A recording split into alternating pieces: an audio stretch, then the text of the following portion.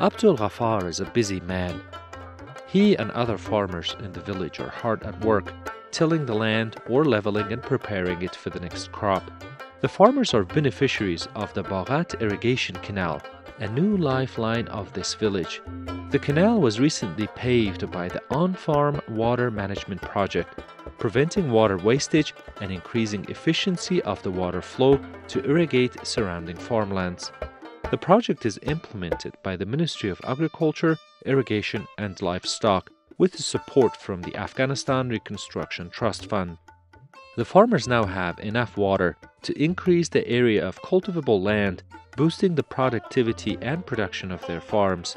Baghat Canal is one of 50 irrigation canals that's being paved all over northern Afghanistan by the project, which works to improve agricultural productivity in project areas by enhancing the efficiency of water use.